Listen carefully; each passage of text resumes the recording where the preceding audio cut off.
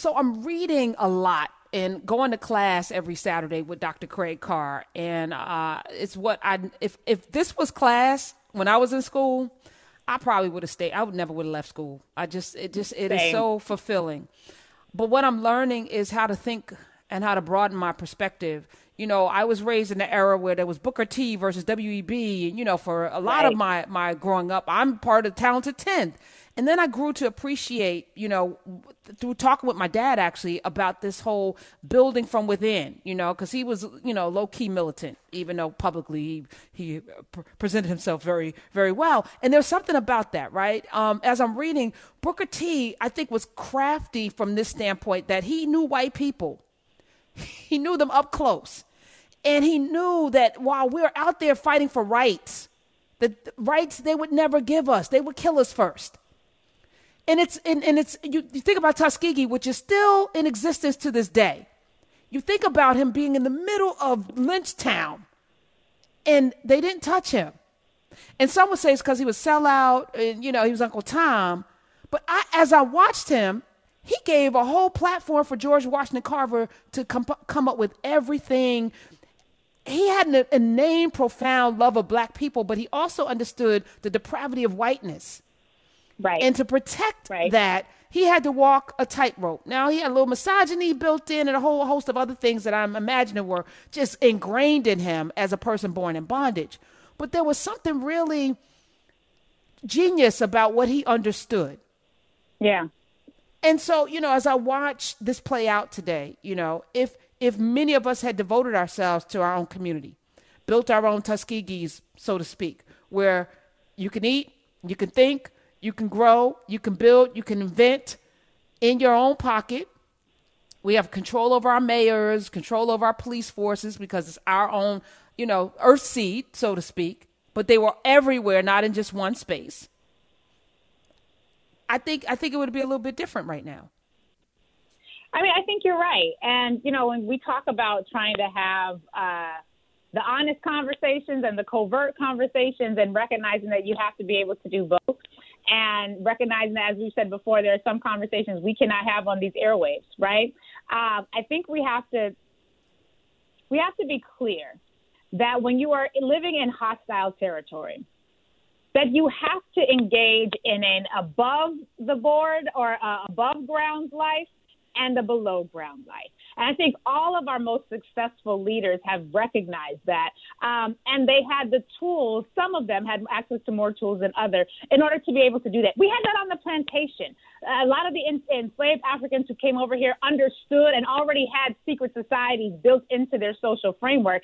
They retained a lot of that during the plantation. We talk about, you know, running off to the woods to sing songs and spirituals we wasn't always just running out to the woods to sing songs and spirituals. A lot of that running out to the woods was to transfer information, was to transfer knowledge from one generation to the other, so that the the, the role that the secret societies played would be able to be maintained. And I think you know now that we're in this environment um, where our culture tells us to share everything.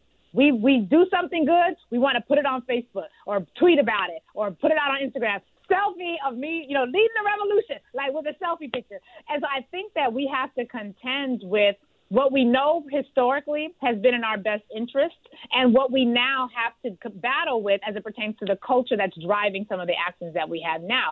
And so I was, you know, I was telling you on the break that I've been privileged to work with an organization uh, from the time I was in college that I helped to create, um, where we have uh, a lot of public events and we do a lot of things in public. But then we have our private Sankofa circles where only people of African descent can come. And if you are not of African descent, you can't come. You can't be in the room. The same way if um, we're having a you know a woman's initiative and you are not a woman identified person, you can't be in that initiative conversation. The same way if I am not a part of the Korean secret society, but I want to, I can't be in their meetings. They got, and you know what? I don't even know when their meetings is happening. Why? I'm not Korean. They, I'm not their target audience. So we have to be comfortable with maintaining two halves of ourselves. And we know that, you know, that we wear the mask. We, we, we know how to be dualistic because we live that every day. But we have to remind ourselves of the stories like what you were talking about earlier about the importance of having, yes, our public persona and yes, our public activities, but there has to be a private space. There has to be private time where only those of us with whom we have been able to accrue some wins, right? Like if I don't know you, and even if you, you know, you phenotypically my sister, if we ain't ever struggled together and won nothing together, I can't trust you but so far.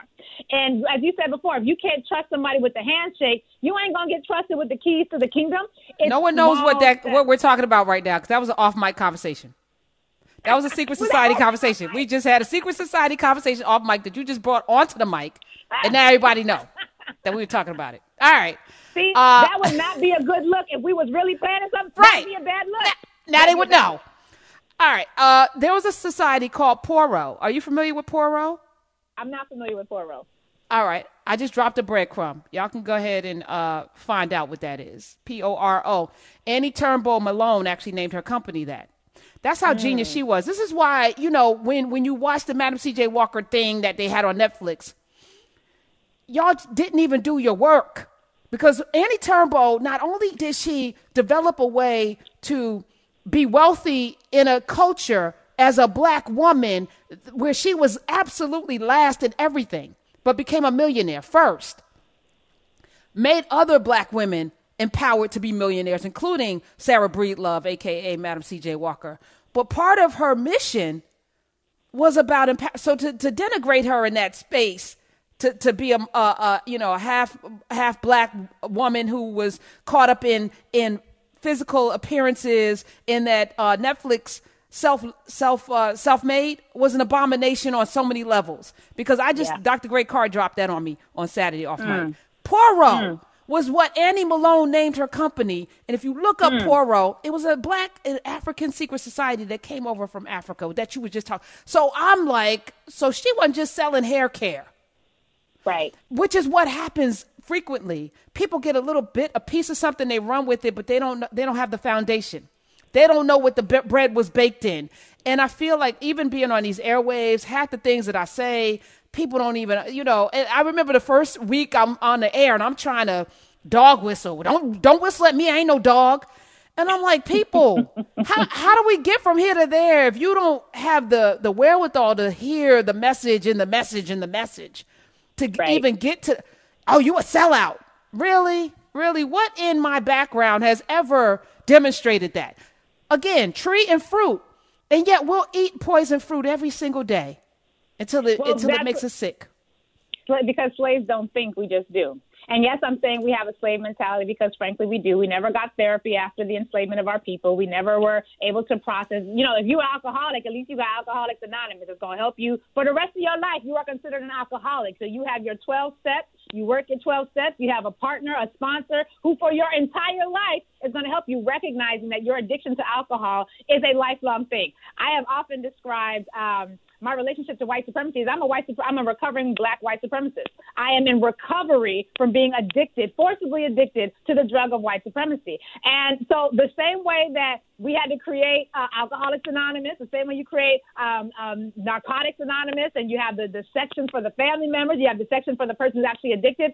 We have to create structures that will, one, treat our symptoms and the reality that we are still suffering from internalized white supremacy because when we had the opportunity to create secret societies post slavery, um, we first wanted access to white people's secret societies. Then we got the ability to create our own secret societies, and they quickly devolved into the social clubs that we now know them to be. So even when we had the opportunity, even when we have the opportunity to create those spaces, it is often now used for feeding the egos that were created through the process of being enslaved and finding liberation here in this space. So I feel like we have to create moments.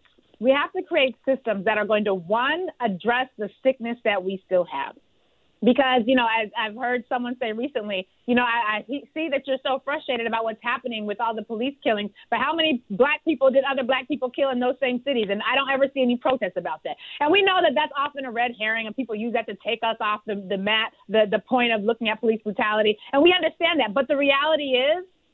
We don't often have protests that are effectively going to address our inability to see our own humanity in each other. So while we're talking about trying to create secret societies and safe spaces for us to coexist in this space, we got to create these systems that are going to help us to process through the internalized white supremacy that is still driving a lot of the decision making that we have within our own communities. Can we eliminate uh, the the term white supremacy? What do you want to replace it with? I'm happy to. White welfare. Mm. White white mediocrity. White yeah. Because in in putting those two words together, you are you are affirming something. Mm. You are saying that you're supreme. White mm. supremacy. So you're you're not recovering from white supremacy. You're recovering from from a white fallacy or white white mythology or you, you know what I'm saying? Like I, I hear is, you. these are the these are the birth the birthings of like because language words are powerful. In the beginning was a word. Word became flesh. When we put those two words together, it it indoctrinates you into this notion that that is due north. That is the standard. That is it's made up. It's made up construct. Yeah. It's made up power power tool. It's a made up power tool. We've bought into it. We use it all the time. White, black, blah blah blah blah blah. As long as there's white, black is always going to be something dirty, dusty, whatever. Malcolm went through that in the Bible. I mean, not in the Bible, the, the dictionary, which became his Bible in, in, in, in prison. But yeah, that those things, you know, are things we pass on to our kids. Yeah. You know, even even I was I was talking about I just started watching Westworld because I'm running out of things to watch, and uh, and it, it is a virtual world. But in this virtual world, you know, it's it's this Western thing. The guy gets dressed in his Western garb, and and the lady says you have two choices. Here's your final two choices. On one side, there's a wall of hats, black, wall of hats, white. What have you been conditioned to believe the white hat is? What's mm. the hmm. white hat? The person that wears the white hat is what? You know, and, and those are just childhood conditionings, right? Right. Wash you whiter than snow. Angels are white. Everything that we so so now you you you say white. I'm I'm indoctrinated into white supremacy. Whiteness doesn't exist. So so how so what but what it do we exists so long as we believe that it does. Yes. And just like money, money is a social construct. It doesn't it is, really and a trust construct. Right. And yet if we don't have it, our lives are materially altered. And so I'm happy to change the phrase so long as we can deal with the fact that we have been indoctrinated. And part of our epigenetic transfer and legacy has been the centering of whiteness. So as I, I think I was saying, um, you know, at our Sankofa circles, white people can't come. And the reason we had to do that was because we recognized that in this therapeutic space of healing for black people, as soon as one white person walks in, even if they're an ally, even if they're someone who has pro- proved that they are down for the cause, we are so indoctrinated with centering and valuing them that we will stop speaking as honestly about the pain we are experiencing because we don't want to make them uncomfortable. What is that related to? It's related to back and a couple hundred years ago, if you could not make white people feel comfortable, you did not have access to a skill set that would allow you longevity in this world. Today, on the job, if you do not know how to make white people feel comfortable, that is a skill set that can quickly have you exited from your company. So we have to whatever we want to call it, let's call it that, so long as we're able to deal with the reality that part of our epigenetic inheritance has been to value them so much that the very idea of separating from them to preserve our own life makes a lot of us too uncomfortable to even have that conversation. So let's have it. 866-801-8255. I'm here for it. Lurie Daniel Favors Afro State of Mind is in the building. Uh, let's see. Where should we go? Where should we go? Where should we go? Where should we go? Leslie in Alabama, you're on. Welcome to the Karen Hunter Show. Hey, Leslie. Hey, Karen. I just wanted to encourage you because my heart is heavy as you as well. And when my heart gets heavy, my grandma and my mom used to tell me this scripture. When my heart is overwhelmed, lead me to a rock that is higher than I. And basically, what I'm telling you, honey, is that the rock that we need to be led to is more education, more intelligence, more self awareness. And basically, I think that we, as far as leaving or staying, I'm staying because my ancestors helped build this this little place, and I and I know my way around, and I'm not going nowhere. I'm not going nowhere because okay. this my home. This yeah, is my home until it's not. Until it's a police and, and, state, until it's not, you know. And I listen. I respect that. I I've parroted those exact same words, Leslie, and I thank you for calling. I said the exact same thing. Five generations. I've been in five generations uh, you know, uh, the blood is in the soil. Mm. uh, yeah, yeah, all of that. And I feel like, because land doesn't, you know, even the mythology about Native Americans being childlike and silly, you know, cowries, they, they, they, you know, they sold Manhattan for a bag of beads.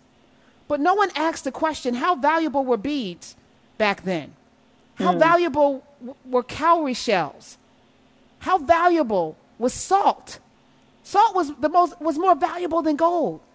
And today mm. we look down, oh, how childish, how how unsophisticated, how stupid people were to trade, because that's all money is, right? I, I think we have to reframe a lot of things in in the way in which we think. Land land ownership was nothing to Native Americans, to Africans. There were no boundaries, as you just mentioned. Those lines were drawn in a conference had in Germany or in, in Great Britain.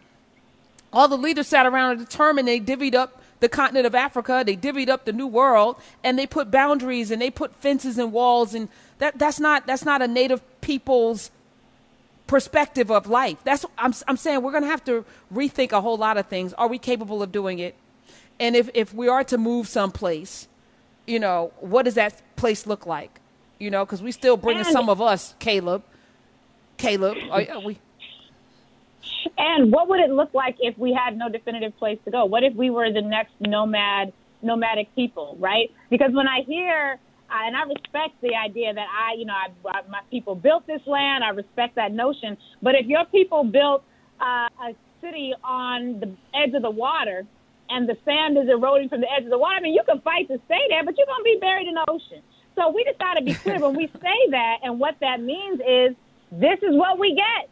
We get Breonna Taylor. We get George Floyd. We get Ahmaud Arbery. So, I mean, we can say that, but that means that this is the best it's ever been. And I don't know that a lot of us, when we think of it that way, are willing to tolerate this as the best it can possibly be. So if I were to be a part of a group of people who were sort of the new nomads, right, a, a, a nationless people, not by our own doing, but baby, here we are. I would want to start asking myself, well, what has what elements do successful nomadic people have to create or embrace in order to be successful, no matter where they go? You know, I, often hear people say, well, I'm moving back to XYZ country in Africa. Okay, well, have you ever been there?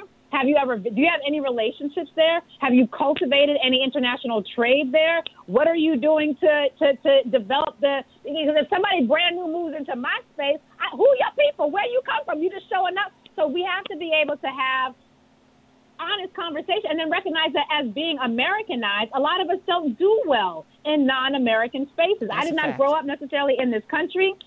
I've always seen Americans as a very interesting, we're an interesting creation. So I, I am an American, um, but it's interesting to see Americans who've never left the country leave for the first time and go into spaces that are not similarly westernized. What are, what are you doing right now to prepare for that? Can you camp? Can you deal without having access to the luxuries that we have been taught that we are deserving of here, recognizing that even here we don't really have access to as many of them as we thought we did? Mm. Well, I know we need to have a system of currency or some sort of economic power. I'm just going to put that out there. If you're going to move nomadically, you're going to have to have some some some transferable currency, no matter where you go. Uh, let's go to Robert in New Jersey. Some of us can't even get our credit together. Uh, hey, Robert. I'm good. How you doing? good, good, First good. time caller. Uh, when I when I found this channel, I was like truly amazed with all the shows I hear. But let me let me just say this. In regards to the police situation, until we call it for what it is, we're never going to get any change. That's the biggest gang that exists in America, is the police department. They ride together and they're going to die together. No matter what their skin color is, their color is blue. And until in this country, you if you take a life, you must be judged for it, it regardless to who you are. 24 years ago, I own a grocery store in Plainfield. 24 years ago, guy tried to rob my store. I shot him. Jersey has no self defense law. I didn't shoot to kill. I still had to stand trial and still went to jail. Mm. How are the police? How is a policeman's life any different than my life? You shoot somebody, you kill somebody, and they ain't got no gun, no weapon of any sort. You deserve to be judged. I agree. I agree. Mm. And I think that's the greatest frustration too. Because we, we I, I tweeted out, and bless you, brother, uh, man after my own soul, having a, a, grocery store in Jersey reminds me of, of my dad.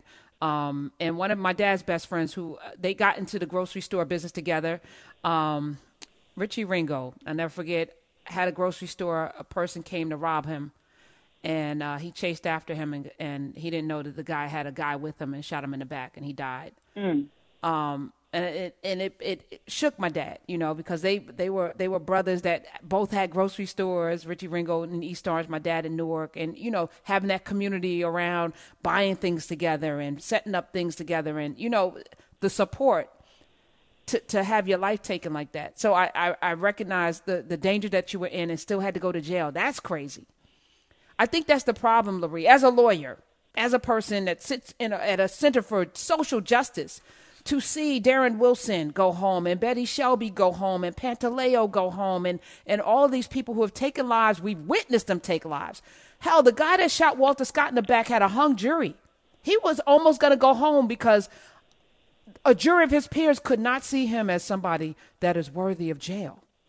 That's right. crazy in America. Right this land right. of laws. So how do we reconcile with that? Robert's onto something because I think that that's the, the if, if if every time this happened, somebody paid for it. A, I think it would stop happening. I think it would stop happening. But I think these cops, they look around and go, I can get away with this. I could shoot someone Absolutely. on Fifth Avenue. I could shoot someone on Fifth Avenue and get away with it. I think they know Absolutely. that. Absolutely. They do know that. And the reality is it's true. And the answer to the question as to how is a cop's life worth more than ours, because the cop is a part of the armed weaponry of the state, which has determined black people's lives are only good enough so long as they can profit from it vis-a-vis slavery or other types of conditions.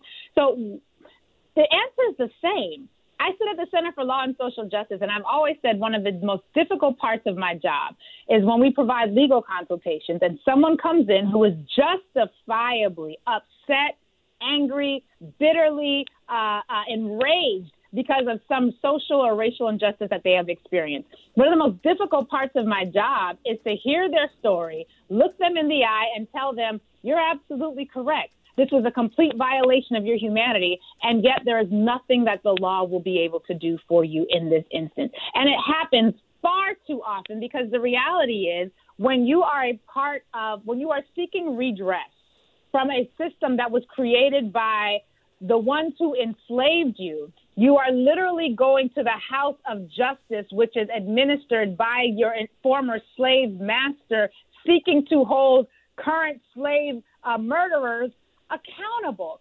It is an insane expectation. And yet we struggle, yet we fight, yet we go to court. I have colleagues at the NAACP Legal Defense Fund who right now are defending lawsuits that they won 30, 40, 50 years ago that they still have to defend. 30 decades upon decades of fighting one or two specific legal issues about this school uh, district trying to be discriminatory or that housing uh, area discriminating against black people. And we can continue to fight. I'm not suggesting that we don't. We just have to be clear that we are literally, go- you know, you are enslaved when you got to ask the people who enslaved you to administer a system of justice against those who are currently perpetuating harm against you. We have to be willing to sit with that long enough to realize what the natural progressing out progressive outcome of this all is. Could Thurgood Marshall have done something? 866-801-8255. Johnnie Cochran, if he was still alive, would we be going through? I don't know. Uh, I was going to go back to you, I Robert. This lady, give, what? I, said, oh. I told this lady, uh, she said, "Well, we just need to." You, she said, "Y'all just, you lawyers just got to use your words better. You just got to come up with better legislation." I said, "Ma'am, Jesus Christ, the King Himself, to come down from the throne up above." pen the most. I mean, the whole Bible is inspired by the Holy Spirit. So what they tell us is they could inspire the legislation written at the hands of the angels.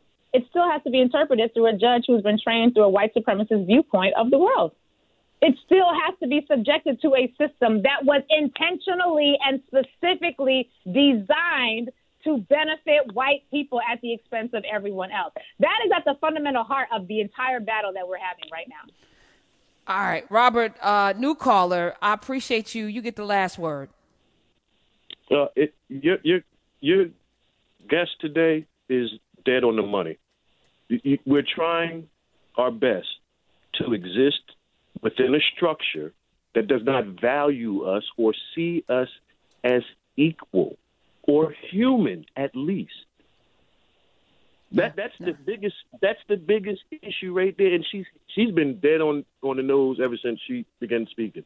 Well, um, let me um, say she's here every week, so there's that. Uh, Lurie Daniel Favors is my Wednesday partner in power, Center for Law and Social Justice, Afro State of Mind. She's been here rocking with us for the last couple of years. She also has a show on Sunday, so you can get more of this with specific knowledge.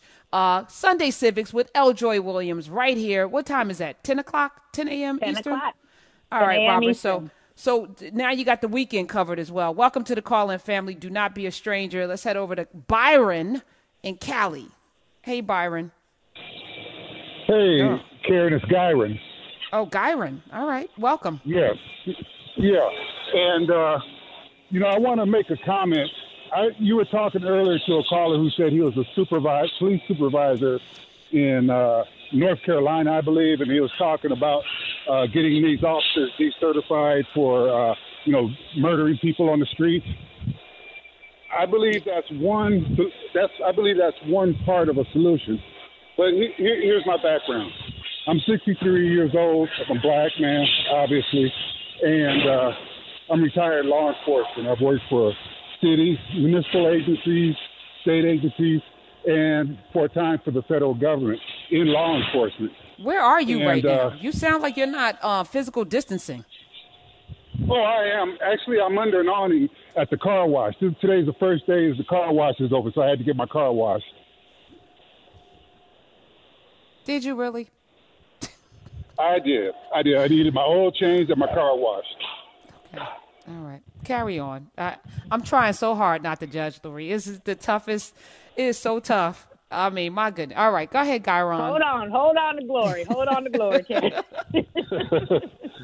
okay.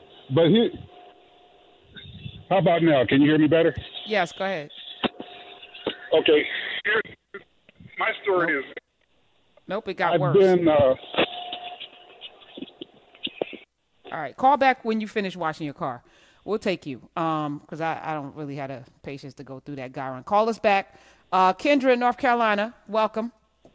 Hi, Karen. I'm a hey. first time caller, and I just want to thank you for this platform. this platform, I learned so much. Um, the information dissemination is just invaluable. Um, I feel your pain, your anger, um, with with George Floyd and the numerous others. But to me, it just seems like it's hunting season, and it seems like every year when the weather gets warm, you know, the the killings start. And I feel like this this agenda we already know has been validated by the FBI, but I feel like it's now starting to become normalized. They want us to see this as as normalizing and it's conditioning, right? It's it's conditioning our mindset because we see this every day. You know, it's it's part of the news cycle, and I just think this agenda is so much bigger, you know, than the police. And I think that their way of weaponizing is through these institutions, and we have this validation already. And so, you know, when we always ask, what are we going to do about it? I think that we don't understand the power of collectivism. And I know you talk yes. about this all the time on your show. And we have to start thinking about how we're going to weaponize. And we have to start thinking about, you know, these these white uh, mediocritists, right? They organize and sell. So they have little small pockets all throughout the country that is creating this agenda. Absolutely. And with with us, we need to do the same thing. We need to start in, instead of trying to set this big, large agenda for for our community because we know that we're diverse within our culture in many different ways. But we got to start thinking more strategically, and we we have to, I think, target this in three ways: through political representation, right, which you talk about all the time, and not just voting, but establishing PACs, right?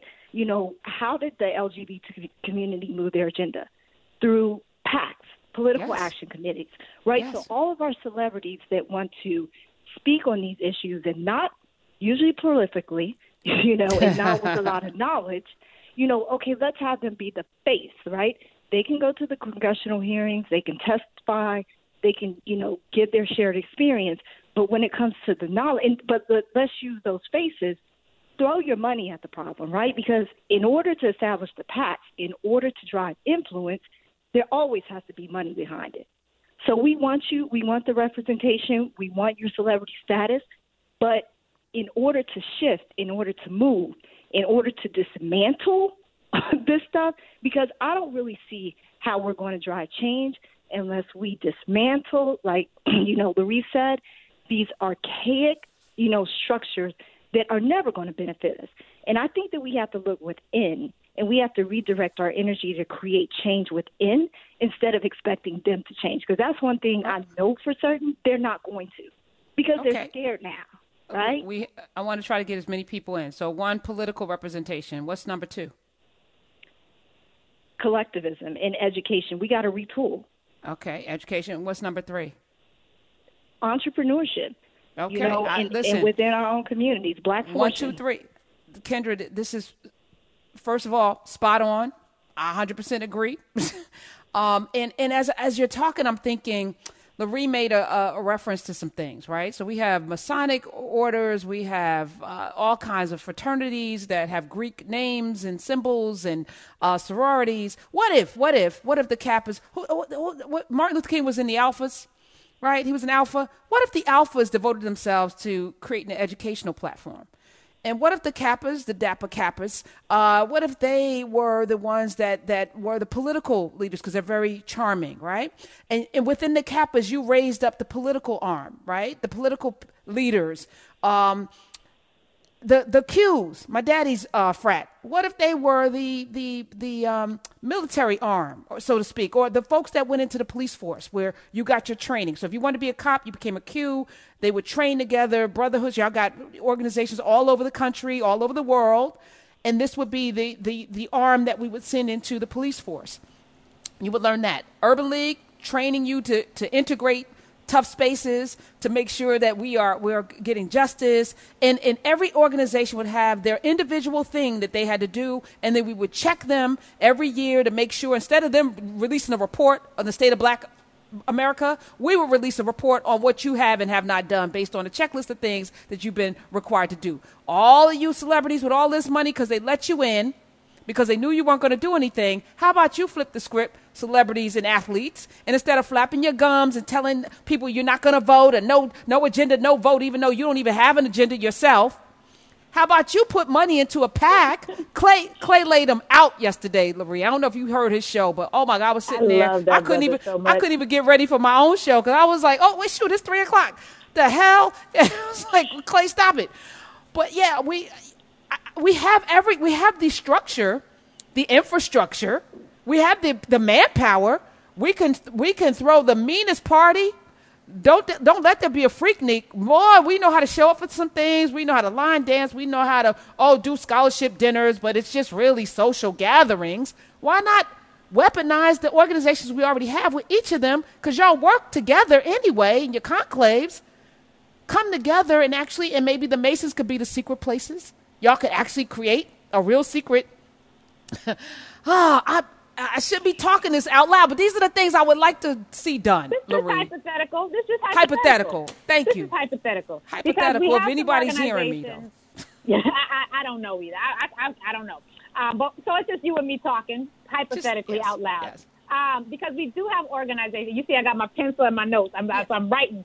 We do have organizations that have mastered at least the entry component of how you would get access to secret spaces. So we've got plenty of information out there, some known, some unknown, about what you would need to do if you wanted to join a particular organization. And yet, I think within the organization, I would ask some questions, like because she mentioned something, the caller mentioned something about small cells small groups of people. And that language is a little political, but it's just us talking small gatherings. Let's just call it gatherings. So we, we you know, the, the folks who's listening, um, who ain't supposed to be listening, get a little, they, they stay calm down. We had small gatherings of people, local groups, because one of the things we talked about on Sunday Civics was the fact that politics is local And it's well, a lot of times people get into politics and they want to focus on the presidential. Don't focus on the presidential. Focus on your city council. What's happening right here, right now? Who is the sheriff? Who's appointing the sheriff? Focus on that. But if you were having these small gatherings of people, I would want to know what do the education protocols look like? What does the study look like? You know, Karen, you and Dr. Carr have been gathering on a weekly basis. Um, what's the what's the curriculum for looking at how we have done things in the past? We should all now know what the PORO is. You just dropped that, and I googled it real quickly. I, I got a couple of sites. I'm gonna go and peruse. But what's the education protocols look like? How much information can you get access to if you have not done any of the study?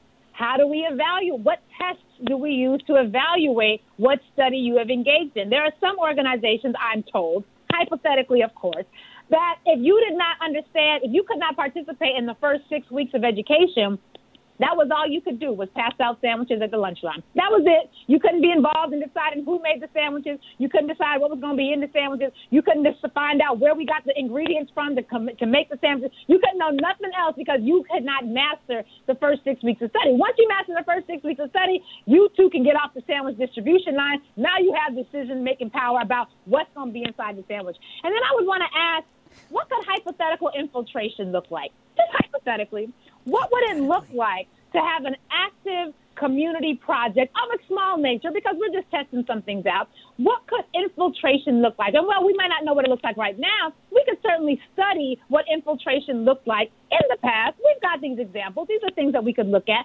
I would want to ask these small gatherings of people, what's your plan for addressing our addiction to white nationalism? We're going to take supremacy out of it. I'm just making white nationalism right now. What is your plan, your 12 step plan to help those of us who are addicted to white nationalism or addicted to the aspiration of proximity to whiteness. And I got my children yelling in the next room, Lord Jesus. That's all right. What That's is the right. plan? That's life. What would be the, the That's legacy. What would be the plan for ferreting out or, or putting your local group of people on a pathway towards eradicating that internalized white nationalism? What would be your plan for addressing ego battles? We've seen how ego battles, you know, ego between Du Bois and Booker T. Washington and Garvey. We saw how all those things worked together and how they destroyed what could have been a triad of greatness and made it, you know, factious groups of people. How are we cultivating humility among a people who have been taught via our culture to pride being the king on top? These are just some questions I would ask. I would ask that every small gathering, just hypothetically, I would just suggest that small gatherings of people think about those things strategically. Well, what Africans have done, Africans can do, and Martin Luther King was selected. Ella Baker, the, the, the groundwork was done. Bayard Rustin, Ella Baker, um, the Pullman car guy, they are the ones that did the organization. Martin Luther King, they handpicked him because of his. Or, again, it's like what is we we deified him, but he was selected because of his ability to be a great orator to push and deliver the message. Sometimes everyone, like I know, I can't deliver everything. I got this show here, but there are things that I'm working on that I can't deliver. Somebody else gonna have to do it, hypothetically, because you know my my style is not you know, it's kind of wild sometimes. 866-801-8255. And, and those secrets, I, I mentioned Poro because our churches were once that place where we could organize and gather. The churches were the ones that were doing credit unions, helping to, to start insurance companies when we couldn't get insurance. The churches were those ground, uh, listen, even Martin Luther King. The churches were the places of organization. I don't know when they became these mega places to buy people jets and stuff and such, and uh, you know, and, and dress real pretty. I don't know when that happened. See, when I talked about having a plan to address ego, that would be a good place of studying how ego has undermined the ability of even the church to be an effective organizing space so that people could profit. And not the type of profit that's going to give you a prophecy that would allow you to get access, access to words of freedom from on high.